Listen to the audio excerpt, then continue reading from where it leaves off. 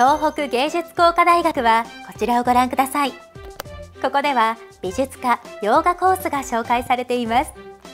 まず注目してほしいのが教員の手厚いサポートです。作家でもある教授陣が一人一人に合わせた指導を行い作品の方向性についても的確なアドバイスを行っています。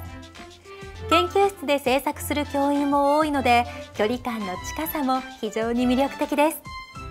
また他のコースとの連携や地域との共同プロジェクトを積極的に行い多方面から物事を捉えられる力を育んでいます。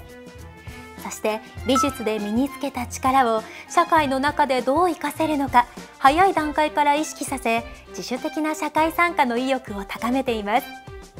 4年時には学びの集大成としてこれまでに得た表現技法や感性を最大限に発揮し200号サイズ以上の対策に挑みます。もちろん全員がこのような対策に挑める環境が整っているので思う存分自分を表現できますよ。AI が広がる現在人間だけが持つ芸術性というものは世界中で注目を集めています。洋画コースのカリキュラムで得られる力はこれからの社会で求められるものばかりなんですよ。